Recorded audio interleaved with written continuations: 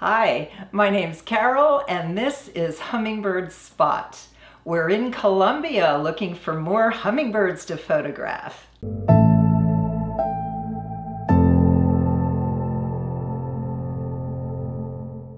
Our first stop today was at Terra Birding in Manzanales. This place had just opened for birders and we were apparently the very first visitors to go there. It's the home of Carlos Mario Aranzazu, and he built a viewing area with hummingbird feeders and lots of perches for photography and baskets of fuchsia flowers that the hummingbirds just love this little fawn-breasted brilliant, one of our old friends, would clutch onto the flowers while he was feeding, and I got some fabulous photographs of this guy. The Andean emerald, one of our other old friends, was especially prevalent here, and I got some beautiful pictures of this bird on the perches. I especially love this picture of this steely vented hummingbird looking at that Andean emerald like he's not very pleased that that bird is on his perch. Carlos told us that if we went on a little hike with him, he would show us possibly a white-throated wedgebill that he's seen come to heliconia flowers. He also had a chestnut-crowned antpitta trained to come out when he called it and he would go up there and feed it. So we wanted to see this and the wedgebill. We went up the hill and took some pictures from the top because this is just a beautiful area. And then we entered the forest.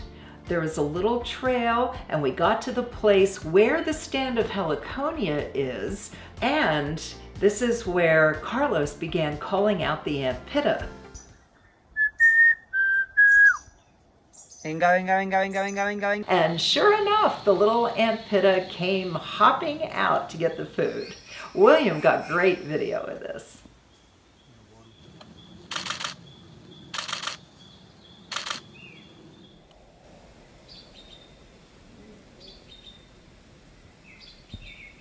Arriba pues, arriba, arriba, arriba.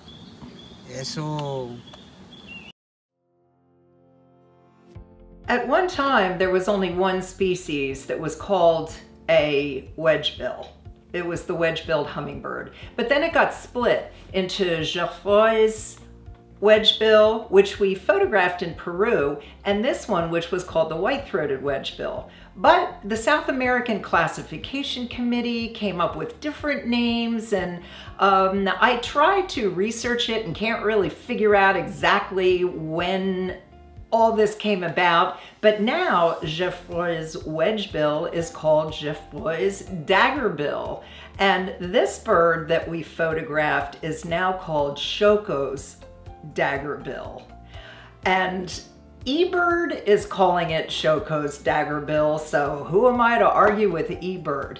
But here is the only picture I was able to get of the Choco daggerbill.